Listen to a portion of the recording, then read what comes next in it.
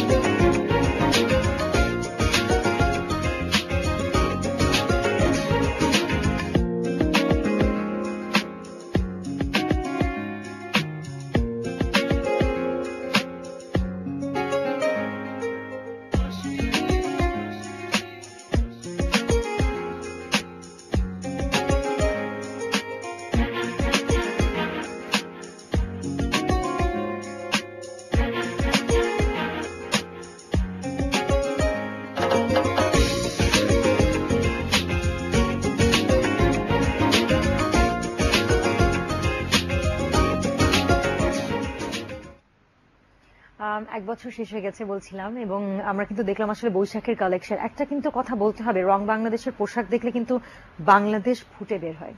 এবং আপনারা যখন পোশাকগুলো ডিজাইন করেন, সেক্ষেত্রে কি এই বিষয়টা মাথায় রাখেন যে আসলে দেশীয় মোটিভগুলো ব্যবহার করতে হবে, এরকম কিছু? হ্যাঁ আমাদের মানে শুরু থেকেই একটা চিন্তা থাকে যে দেশীয় ঐতিহ্য কালচার এটা যেন রিপ্রেজেন্ট করে। আমাদের নামটাও তো হয়েছে রং বাংলাদেশ। রঙের সাথে সাথে যেন বাংলাদেশের সবকিছু আমরা সুন্দর করে ফুটিয়ে তুলতে পারি। এটাই আমাদের লক্ষ্য। তো সেই ক্ষেত্রেই মানে যখন কাজ করি তখন রং বাংলাদেশের ক্ষেত্রে আমাদের দেশীয় ঐতিহ্য সংস্কৃতির যে বিষয় আছে ওটা থেকেই আমরা থিম নেওয়ার চেষ্টা করি। আবার আমার কয়েকটি কিন্তু ব্র্যান্ড আছে আলাদা। যেমন আমার বাংলাদেশ আছে। হ্যাঁ। সেটা হচ্ছে একটা এক টুকরো বাংলাদেশ। আমরা মানে বিশেষ করে হচ্ছে সুবিনির আইটেম আপনি তো জানেন যে হ্যাঁ। বাইরে প্রত্যেক জায়গায় সেই জায়গার জন্য কিছু আইটেম থাকে। থাকে। আমরা ওই রং মানে আমার বাংলাদেশের ক্ষেত্রেও আমরা সেটাই চেষ্টা করেছি যে সুবিনির আইটেম তৈরি করতে। আচ্ছা। তো সেখানে যেমন সামনে বিজয় দিবস আছে। তো বিজয় দিবসের যে প্রোডাক্টগুলো ওগুলো বেসিক্যালি আসলে বাংলাদেশ রিপ্রেজেন্ট করবে। আচ্ছা। আমরা সেটার জন্য টি শার্ট তৈরি করছি মগ তৈরি করছি আরও যে পোশাক আশাকে যেন পুরোপুরি বাংলাদেশটা রিপ্রেজেন্ট করে সেটাও চেষ্টা করেছি। আমাদের কিন্তু ফ্যাশন ইন্ডাস্ট্রি এই বিষয়টা অনেক মজার যে আমরা শুধুমাত্র সিজন ধরে কিন্তু আসলে ডিজাইন হয় না আমাদের কিন্তু ওকেশনস ধরে ডিজাইন হয়। এটাও কিন্তু অনেক মানে অন্য দেশে কিন্তু এটা খুব একটা দেখা যায় না এই এই চলটা এটা দিস ইজ এটা একদমই আমাদের একটা আমাদের এটার জন্য আমাদের এই ফ্যাশন হাউসগুলোর বিশাল ভূমিকা আছে এবং সঙ্গে সঙ্গে মিডিয়াও খুব ভালো করে এটা বিষয়টাকে আমাদের হাইলাইট করে। এবং আমাদের এখন জীবনযাত্রায় সবাই চিন্তা করে যে একটা অকেশন আসলে আমাদের নতুন কিছু একটা পড়তে হবে। এটা এটা এখন আমাদের দেশে খুব ভালো হ্যাঁ। চলছে। ওকেশনের কথা যেহেতু হচ্ছে এবং বিজয় দিবসের কথা আপনি বলেছেন সেখানে বিজয় দিবসের কাপড় তো একেবারে আলাদা করে ডিজাইন করা হচ্ছে। হ্যাঁ, হ্যাঁ। তো আমরা কি শুধুমাত্র লাল সবুজের মিশ্রণ দেখব নাকি আমরা তার থেকে বের হয়ে এসে অন্য কিছু দেখব? লাল সবুজের প্রাধান্যটাই বেশি। সঙ্গে আচ্ছা। দেশীয় রংটা যেগুলো আমাদের আছে প্রাইমারি রং সেগুলো যোগ হয়েছে। কিন্তু লাল সবুজটাই রিপ্রেজেন্ট করবে বেশি। আচ্ছা আর এবারে উইন্টারে আমরা কি ধরনের কালার দেখব? উইন্টারের কালারটা স্বাভাবিক ধূসরটা বা অ্যাশ কালার বা এটা প্রাধান্য থাকে। সঙ্গে আমরা যেহেতু রং আমরা কালারও যোগ করি। আচ্ছা। তো এই ক্ষেত্রে যে আইটেমগুলো আছে যেমন শাড়িতে আছে শাড়ি আছে শাল আছে এবং এগুলোতে আমাদের থিমটা সবগুলোতেই এটা আমরা ছড়িয়ে দিয়েছি তো অনেকে অনেক কিছু ম্যাচ করেও নিতে পারবে। যে শাড়ির সাথে ম্যাচ করে হয়তো শালটা নিল। আমরা আবার যেগুলি ওয়েস্টং আমাদের যে ব্র্যান্ড আছে। ওখানের ক্ষেত্রের জন্য আমরা এবার যেমন এখন কেপ চলছে যে ও এই এই বিষয়টাও এসছে। আচ্ছা। হ্যাঁ মানে আধুনিক আধুনিক পোশাকটাও আমরা শীতে নিয়ে আসার চেষ্টা করেছি। হুডি এসছে। ও তাই? ও হুডিটা কখনো কি মানে রং বাংলাদেশে আগে দেখেছি নাকি এবার উইন্টারে প্রথম হুডি? আমরা আমরা চেষ্টা করি ওসব করতে। এখন বিষয়টা হচ্ছে কি শীতটা তো আসলে আমাদের এখন খুব কম সময় থাকে। হ্যাঁ। আমরা সেজন্য চেষ্টা করি যে যেন কাপড়টা একটু আরামদায়কই হয় কিন্তু আবার খুব যেন মোটা বা এরকম না হয় যে মানুষ পড়তে পারবে না। পারবে না হ্যাঁ এটাও অনেক ইম্পর্টেন্ট খুব কম সময়ের জন্য আসলে কেউ ওভাবে করে আলাদা করে পোশাক কিনতে চায় না। শালগুলো দিয়ে চালিয়ে দেওয়ার চেষ্টা করে। আপনি বারবার বলছেন যে আপনাদের বিভিন্ন আলাদা সাব ব্র্যান্ডস আছে ওয়েস্ট্রং একটা জানি আমার বাংলাদেশ বললেন একটা। শ্রদ্ধাঞ্জলি আছে। আছে। ওয়েস্ট্রং শ্রদ্ধাঞ্জলি আমরা জানি একটু মুরব্বী যারা আছেন তাদের জন্য আলাদা করে করা। আমার বাংলাদেশ বললেন সুভিনিয়ারগুলো। ওয়েস্ট্রংটা আসলে কাদের জন্য করা? ওয়েস্টং হচ্ছে ধরেন তরুণদের জন্য। আচ্ছা। এটা যেমন বয়সে তরুণ আবার মনে তরুণ যারা আছে যারা মানে আমাদের এখনকার আধুনিক যুগে তো ফ্যাশনটা একদম মানে হাতের কাছে। হ্যাঁ। আমরা পৃথিবীর সব ফ্যাশনই দেখতে পাই। সেই ফ্যাশনটাকেই সাথে আমাদের দেশীয় কালচারের সাথে যেটা যায় এটা এটা মিলিয়ে যেটা আধুনিকভাবে এখনকার ছেলেমেয়েরা পছন্দ করতে পারে বা আধুনিক কেউ পছন্দ করতে পারে তাদের জন্য যে ব্র্যান্ডটা ওইটাই ওয়েস্টার্ন। আচ্ছা ফোন আছে একটা নিয়ে নিচ্ছি। হ্যালো হ্যালো জি সালাম আলাইকুম ওয়ালাইকুম আসসালাম আমি কর্ণা বলছি। জি বলুন। জি আপু আমার স্যারের কাছে কিছু জানার ছিল। অবশ্যই। সেটা হচ্ছে আমার স্কিন টোনটা একটু ডার্ক। এবং আর আমি একটু চিকন। তো এই টোনের সাথে আমার কোন কালারের ড্রেস আপ করলে বা কি টাইপের ড্রেস আপ করলে ভালো লাগবে? আচ্ছা ঠিক আছে ধন্যবাদ প্রশ্নটি করার জন্য। আমাদের হচ্ছে রংটা খানিকটা একটু শ্যামলা তো সেই ক্ষেত্রে তার কোন ধরনের পোশাক পরা উচিত? কোন রঙের পোশাক পরা উচিত? বিষয়টা আসলে একদম পুরোপুরি ব্যক্তিগত। এটা আসলে বলার বিষয় নেই আসলে। যে আমাকে যেটা মানায় আমি সেটাই পরবো। হুম। এটার জন্য রং কালো বা চিকন এটা এটা এটা কোনো হ্যাম্পার করে বলে আমার মনে হয় না। হ্যাঁ। দাদা এটা আমি কিন্তু একটুখানি যোগ করতে চাই যে আমার মনে হয় না যে কার কোনো গায়ের রঙের সাথে কাপড়ের রঙের কোনো সামঞ্জস্য আছে। আমার সাথে হয়তো আবার অনেকেই ডিসএগ্রি করবে কিন্তু আমার মনে হয় কনফিডেন্টলি তুমি যেটা পরে হ্যাঁ, হ্যাঁ, ফেলবা তোমার কিন্তু সেটা ভালো লাগবে। যদি নিজের মনে বারবার প্রশ্ন জাগে যে আমাকে কি ভালো লাগছে আমাকে কি হ্যাঁ, ভালো হ্যাঁ। লাগছে তখনই কিন্তু সেই জায়গাটা বের হয়ে আসে এবং তখনই তাকে ভালো লাগে না। এটাই বিষয়। যেটা আমি করব এটা কনফিডেন্টলি করব। কনফিডেন্টলি পরে ফেলতে হবে। কিন্তু তারপরও যদি কয়েকটা রং সাজেস্ট করে দিতেন যে তাকে আসলে কি ভালো লাগবে কোনো ডার্ক কালার্সে যাবে নাকি লাইট কালার্সে যাবে তার মনের সান্ত্বনার জন্য। মানে বিষয়টা আমি আমি পুরোপুরি আমি নিজেকে দিয়ে বিচার করি তো। হ্যাঁ। আমরা বিচার করি যে কালো রঙের সাথে আমি যদি চাই আমি খুব রেডও পড়তে পারি এবং। উজ্জ্বল কালারও পড়তে পারি। আবার অনেক ধূসর কালারও পড়তে পারি। এটার বিষয়ে আসলে আমি কোনো সাজেশন দিতে চাই না না, হ্যাঁ। চাচ্ছি না। ঠিক আছে ফোন আছে আমি নিয়ে নিচ্ছি। হ্যালো হ্যালো জি ইসলাম আলাইকুম। হ্যালো জি শুনতে পাচ্ছি বলুন। আচ্ছা আমি আমি হচ্ছে গিয়া ধরেন কালো কি ড্রেস পরলে আমাকে শুট করবে ধন্যবাদ ফোন করার জন্য। আমি আসলে দুটো কলারের কি বলতে চাই যে আমিও কিন্তু কালো এবং আমার মনে হয় এখন যতটুকু সাদা লাগছে সেটা আমাদের লাইটের লাইটের কারণে লাগছে এবং আমার কিন্তু কখনো আসলে রং নিয়ে প্রশ্ন জাগেনি মনে। আমার মনে হচ্ছে আমাকে সব রং স্যুট করবে এবং সেটার কারণেই হয়তো বা স্যুট করে যাচ্ছে। আমি মনে করি হ্যাঁ অনেকে এটা মনে করে যে মানে আমি এটা কি পড়লাম বা কিছু এটা শিখি বোধ করলে তখন তাকে ঠিক আছে যেটাই করো কনফিডেন্টলি করো কোনো অসুবিধা হ্যাঁ নেই। কোনো অসুবিধা নেই। আসলেই কিন্তু রঙের আমার যেটা ভালো লাগে আমি সেটাই পরবো। হ্যাঁ আর আমার মনে হয় না এটা খুব নিজেকে লিমিট করে দেয়া এক অর্থে হ্যাঁ। কিন্তু আসলে যে এই রংগুলো আমি পরবো না। আসলে সেই রঙের একটা কাপড় আমার পছন্দ হয়ে গেলে তখন তো আমার মনটা খারাপ হয়ে যাবে। মানে সেই জায়গাটা আমি আগে যদি স্থির করে রাখি যে আমি এটা পড়তেই পারব না এটা পড়তে পারব না এটা আসলে ঠিক না। আমার হ্যাঁ। যেটা ভালো লাগে আমি অবশ্যই পড়ব অবশ্যই। আমি ইনফ্যাক্ট আপনাদের একটা সাজেশন দিতে চাইব যে আপনারা ট্রাই করে দেখুন পোশাকগুলো পরে দেখুন রংগুলো নিয়ে এক্সপেরিমেন্ট করে দেখুন। নিজেরাই কিন্তু আসলে বের করতে পারবেন কোন রংটা আপনাকে খুব বেশি ভালো লাগছে আর কোন রংটা আপনাকে মোটামুটি লাগছে। কিন্তু এক্সপেরিমেন্টটা করতে ভুলবেন না কারণ নিজেই আসলে নিজের প্রপার জাজ তো আমরা ফোন আছে একটা নিয়ে নিচ্ছি। হ্যালো হ্যালো হ্যালো আমি ফাইন বলতেছি খুলনা থেকে। জি ফাইন ধন্যবাদ ফোন করার জন্য। বলুন। জি, আমি আসলে আজকে স্যারকে অসংখ্য ধন্যবাদ এবং এটাই আমাকে ধন্যবাদ আজকে। এত ভালো একটা প্রোগ্রাম এখান থেকে আসলে অনেক বিষয় জানা যায়। আর আমার আজকে কোশ্চেন একজন মডেল মানে বাংলাদেশের ক্যারিয়ার হিসেবে মডেলিংটা আসলে কতটুকু গ্রহণযোগ্যতা?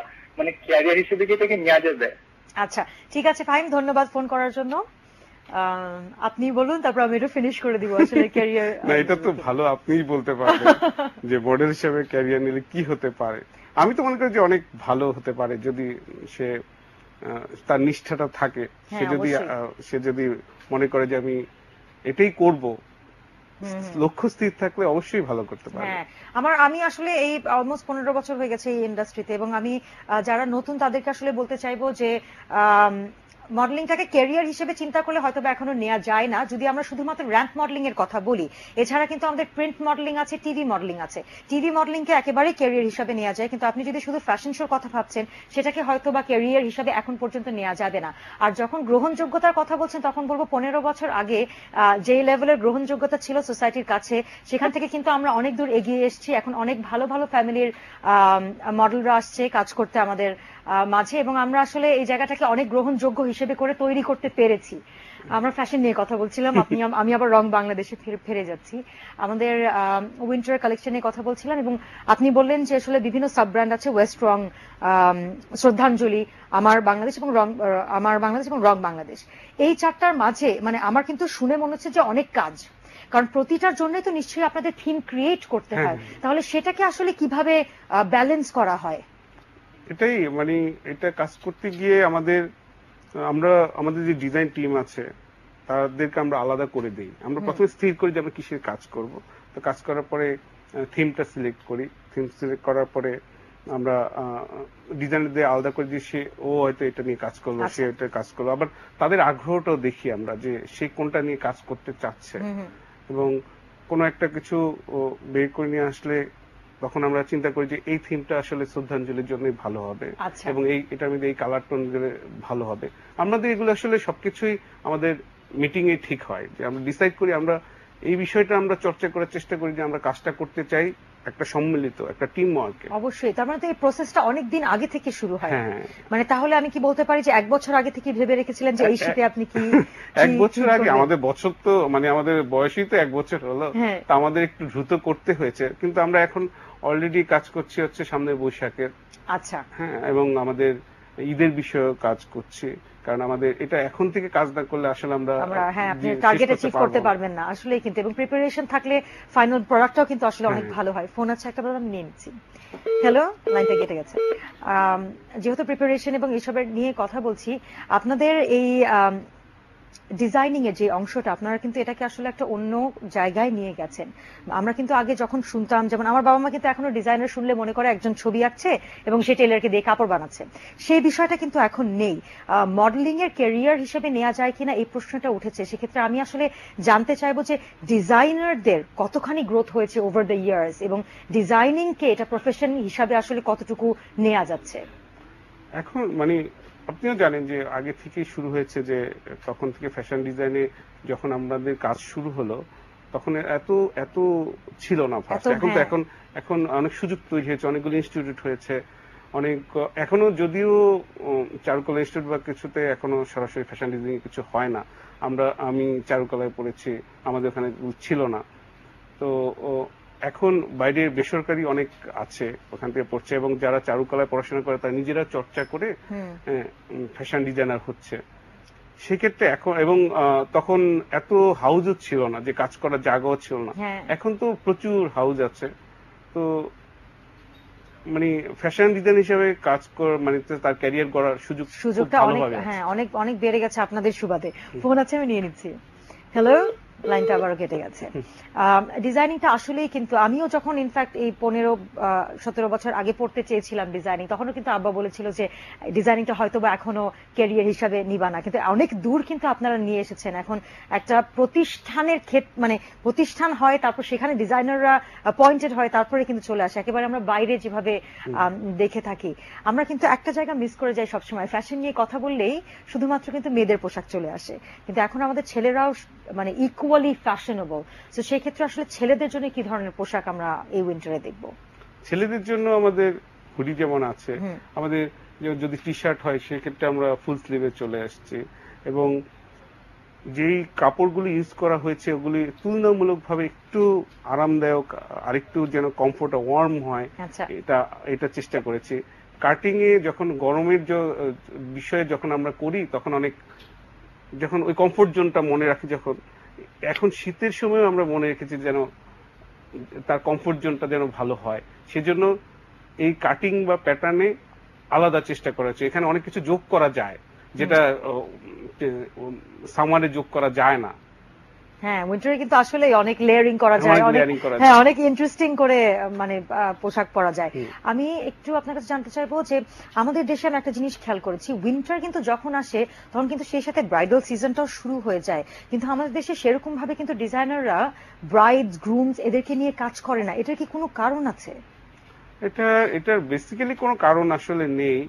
আমাদের কিন্তু প্রত্যেকটা হাউজে কিছু কিছু জিনিস তৈরি থাকে ব্রাইডালের জন্য। আচ্ছা। আমরা তৈরি করে কিন্তু ব্রাইডালের জিনিসটা আসলে মানে অনেক কিছু তৈরি করে রাখা যায় না। আমরা তৈরি করে রাখি বেসিক্যালি কিছু স্যাম্পল তৈরি করে রাখি। আচ্ছা। এটাই আসলে থাকে মানে লিমিটেড এডিশনে থাকে। অনেক সময় আমরা ওটা অনুসারে যে কাস্টমারের চাহিদা মতো আমরা তৈরি করেও দেই। ও তাই না? এটা কিন্তু আসলে জানতাম না রং বাংলাদেশ নিয়ে। আমরা আমরা মানে আমি প্রিটি শিওর আমার সাথে অনেক দর্শকরাই জানেন না যে আপনারা একদম কেটার করে দিচ্ছেন এক একজন হ্যাঁ। কাস্টমারের জন্য। তো কেউ যদি আসে একেবারে ব্রাইডাল আপনার সাথে বসে ডিসকাশন করে হ্যাঁ, হ্যাঁ, আহ, সেটা করতে পারবে না? মানে বিষয়টা আমরা কাজ করি একদম টিম ওয়ার্ক করে আমাদের ডিজাইনার গ্রুপ নিয়ে কাজ করি। ও ওয়াও তার মানে তো সেই ক্ষেত্রে কি মানে যেটা একদম কাস্টম মেড যেটাকে হ্যাঁ, আমরা হ্যাঁ। বলি আসলে সেভাবে করে ব্রাইডাল ওয়্যারটা ক্রিয়েট করে দেওয়া হচ্ছে। আমাদের পোশাক তৈরি থাকে মানে ইয়ের জন্য ইয়ে- বিয়ের আনুষঙ্গিক যা হ্যাঁ। যে হলুদের জন্য বা বিয়ের জন্য যে জিনিসপত্র থাকে ওগুলো থাকে আমাদের। কিন্তু তারপরে যদি সে কাস্টমাইজ করতে চায় এটা করতে পারে। তখন তাদের চাহিদা মতো আমরা করে দেই। আচ্ছা। সময় দিতে হয় আর কি হ্যাঁ, এটা ক্ষেত্রে অনেক সময় যেটা সমস্যা হয় যে লাস্ট মুহূর্তে ওনারা চলে আসেন। এটা আসলে একটা বড় সময় না দিলে হয় না।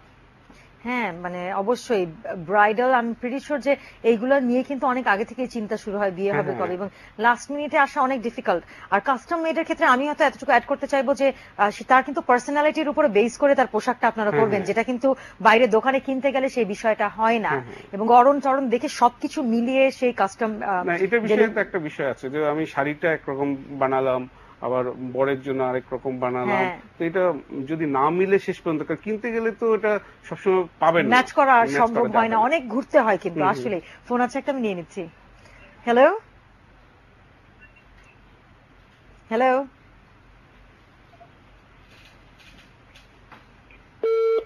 কেটে গেছে। আরেকটা ফোন আছে নিচ্ছি। হ্যালো হ্যালো জি সালাম আলাইকুম। আপু আসলে আমার শুনলাম জি বলুন। জি। মানে আমি কোন রঙের মানে পোশাকটা ঠিক করতে পারি। ধন্যবাদ ফোন করার জন্য। আমার মনে হয় দাদা আপনি বলেই দেন শ্যামবর্ণ রঙের জন্য তারা কোন পোশাক পরবে? তিনটা ফোন কল পেয়ে গেছি। না এটার জন্য স্পেসিফিক আসলেই কোনো কালার নেই। এটা তার যেটা মানায় সে তাই পড়তে পারে। হ্যাঁ এটার জন্য স্পেসিফিক কোনো কালার নেই। এটা এই মাথায় এই চিন্তাতেই রাখার দরকার নেই। হ্যাঁ আসলে এই চিন্তাটার উৎপত্তি কোথা থেকে? এটা কিন্তু আসলে একটা ভাবার বিষয় যে কোন রংটা আমাকে মানাবে মানাবে না। আমার মনে হয় যদি হলুদ রঙও ধরি তাহলে কিন্তু হলুদের অনেক শেড হয়। না না আপনি যদি গ্রামে কোথাও যান বা কিছু এই যে এখন ওনারা চিন্তা করছেন কিন্তু গ্রামে কোথাও যদি যান তারা কি চিন্তা করে পড়ে? কিন্তু হঠাৎ করে দেখবেন যে আমি একটা মেয়ে যাচ্ছে সে এমন একটা কালারের জিনিস কিন্তু তাকে খুব মানিয়েছে। হ্যাঁ। তো এই বিষয়টা তো ওটার উপর নির্ভর করে না। গায়ের রঙের উপর আসলে আসলে কিছু নির্ভর করে না। করে না। আর আমি মানে সবার জন্য একটু এই কথা বলতে চাই যে যেটা বলছিলাম আসলে হলুদ রং চুজ করলেও কিন্তু হলুদের অনেক শেড আছে। কোনো না কোনো শেড তো তোমার নিজের হ্যাঁ। মনে হবে যে আমাকে স্যুট করছে। সেটা একটু এক্সপেরিমেন্টও করা দরকার। Try it try. ইট তাই না? না ট্রাই করলে কিন্তু পাবে না। আমরা অনুষ্ঠানের একেবারে শেষ অংশে। আপনাকে অনেক অনেক ধন্যবাদ সময় করে আসছেন। তবে আপনাকে অনেক ধন্যবাদ আমাকে ডেকেছেন শ্রমিক এত তাড়াতাড়ি ছাড়বো না। আরও দু চারটা প্রশ্ন করে নেই তারপর আপনাকে ছাড়ছি আমি। আম, আমরা যেটা আহ, আরেকটা জায়গা অ্যাভয়েড করে যাই যেটা আপনারা আসলে কেটার করছেন সেটা হচ্ছে শ্রদ্ধাঞ্জলি যেটা বললেন মুরব্বীদের জন্য যেটা যে যে পোশাকটা। তাদের জন্য এই এখন স্টাইলে কি আছে একটু যদি বলেন এখন বেশি মানে এখন উইন্টারের জন্য তো অবশ্যই নানা রকম শাল হচ্ছে। এবং মানে কাপড় যে কাপড়ের টোন বা ইসেতে আমাদের থিম ওই থিমটা চলে এসছে।